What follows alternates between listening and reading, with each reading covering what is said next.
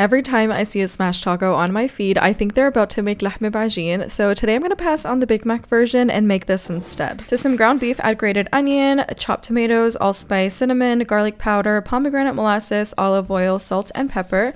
Rub it all in and there's your mixture. Take a dollop of the minced meat and press it over a tortilla nice and thin. Then you're going to add this to a preheated pan on the meat side first for about 3 minutes and then on the other side for 1 minute until it's nice and toasted. Top this off with some white onions, tomatoes, cilantro, pomegranate molasses, and enjoy.